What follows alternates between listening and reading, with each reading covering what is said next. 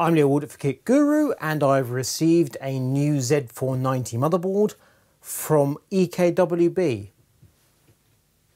the cooling company in Slovenia, that EKWB. I'll be doing a quick unboxing and preview in a few minutes of that board, but first let me discuss EKWB's recent virtual expo. You will be aware that Computex hasn't happened yet. It should have happened last week. It's meant to be happening in a few months' time. Fingers crossed, because frankly, who knows? Uh, so we, we have already seen a kind of virtual Computex thing. Hello, and welcome to Virtual Computex. I'm delivering this message from my home, and like many of you, had been planning to be in Taipei for this year's event. We should see this moment as an opportunity to shift our focus as an industry from benchmarks to the benefits and impacts of the technology that we create. And then last week, EKWB made a much better job of things. They ran events Tuesday, Wednesday, Thursday, Friday, Saturday, and they were starting uh, 7 p.m., I think it was, uh, Eastern European time, which is 6 p.m. in the UK. Those boys put in the hours. The event was kicked off by Eddie Koenig, the EK of EKWB, who talked about the company. Uh, they talked about various things they're doing. So the classic cooling systems, they're doing pre-built computers, and then they talked about specific families of products. Uh, they had various other members of the EK team along to talk about things, including some chaps we met at Computex a number of times, specifically uh, Attila Gober and Joe Roby. And that was all jolly good. Attila and Joe were discussing torque fittings. At the moment, we have these full-size torque fittings that were launched a couple of months ago, 23mm external diameter, and we have coming soon Torque Micro, which are a mere 16.5mm in diameter. Joe was discussing torque and said it's a Marmite thing in the sense of some people love them, some people hate them. We'll have duplicates of a few products, so we'll have a Torque and an alternative, which will be a Torque Micro. Now, the real purpose with this is to help out in builds where you have really tight spots.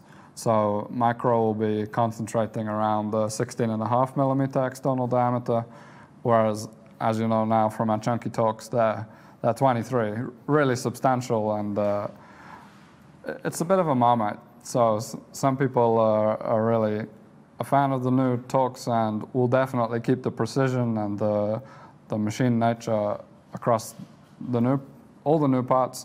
Um, but Torques are really focusing on reducing size as much as possible. So I typed into the chat box, hey Joe, do they have Marmite in Slovenia? And the master of ceremonies read out my question to the two and it just clanged. There is one question from uh, Leo Waldock uh, for Joe, for you. Uh, Hi, Leo. Do we have Marmite in Slovenia? Sorry about that, guys. It was meant in the best of spirits. I actually had a video call with Joe and Attila uh, separately, uh, which didn't go quite to plan because the camera at their end was truly terrible. So I was all set up here with a streaming PC so I could uh, capture the video call and then the stuff they're showing other end I could barely see. So I was paying particular interest on the Saturday evening when they were talking about the upcoming products because I'd heard about them and I'd kind of seen them through a haze of pixels. The products they got coming that really caught my eye, a vertical GPU bracket, uh, looks utterly rigid and it's intended to mount on, grab this MSI motherboard, the uh, ATX screws on the bottom of the board to give it extra rigidity. I was asking for details about the GPU bracket and they were saying there'll be one version which goes in a case where you can clear out all the uh, expansion brackets at the back to leave an open space and that will go to the rear of the case. But if you have the type of case where you have sort of cross struts um, unless you want to Dremel them out. There'll be another version where the graphics card is moved in from the rear of the case. I thought that's very nifty.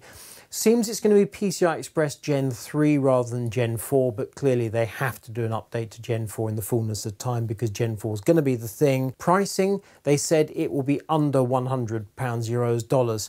So that seems highly interesting. They were also talking about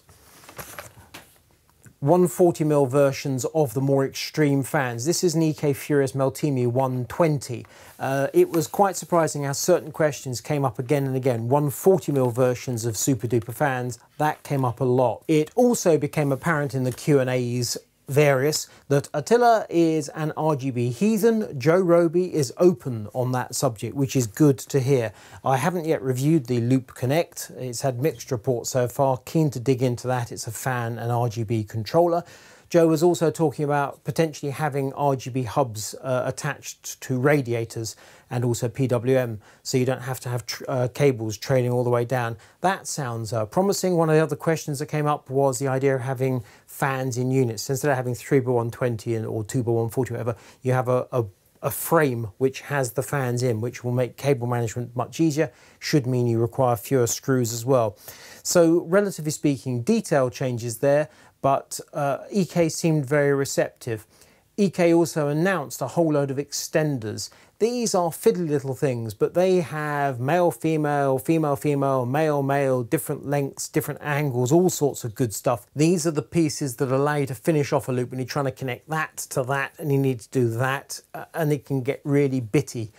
Uh, once you've done all the big bits, sometimes the finishing touches, the bits absolutely kill you. It looks like EK has a load of good stuff coming along. What's with the motherboard? Well, MSI MPG Z490 Carbon EKX. Here I happen to have an MPG Z490 Carbon regular motherboard. So that is what the motherboard looks like.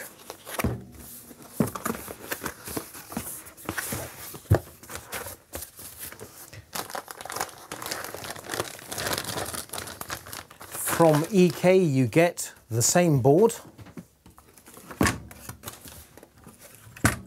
minus the VRM coolers. You get a monoblock, a leak tester, oh, and a load of accessories. The regular board is priced in the UK at £260. The EK version is priced at 400 odd dollars, so going to be around the 390 pounds. However, an EK monoblock will typically cost you about 140 pounds. So you don't have to remove the cooler, well that's no great hardship anyway, and you're basically getting that for your money. Therefore you're getting the leak tester, which is about 30 pounds in the UK, and happily I already have one. There we go. Lovely tool used for pressurizing your loop when you built it to check you don't have any leaks. The accessories, we've got the EK installation kit and we've got all the bits and pieces you usually get from MSI cables and such like. So you're not missing out on anything. And there we have the thermal pads. The idea is you install your processor and then you install the monoblock like so for a full, oh look, they've even got a carbon look going on. And then you can plumb it into your loop. So in addition to cooling your CPU, you're also cooling the VRMs. Looks very neat, perfect match, exactly what you'd expect to see.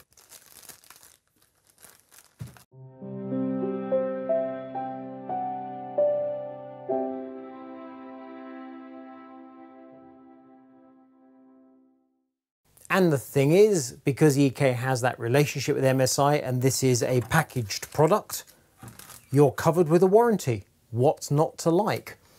During my call with the EK people, I asked them which processor they expected customers of this motherboard to use, and they said, oh, the 10 core Core i9 10900K, straight for the big guns.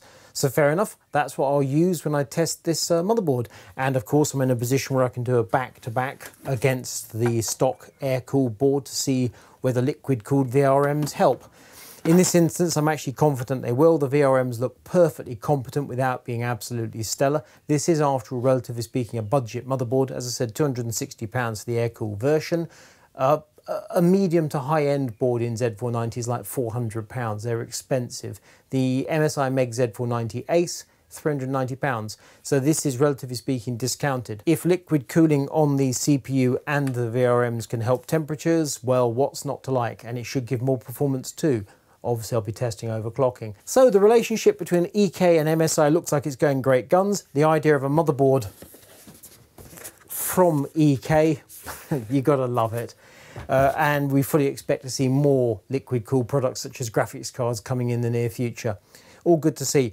The Expo chaps, very good. I apologise for the question about Marmite, that was uncalled for. If you like this video, give it a thumbs up, hit the bell button, subscribe. Head over to kitguru.net to read our news and reviews. I'm Leo Waldock for Kit Guru. This is a motherboard from EK.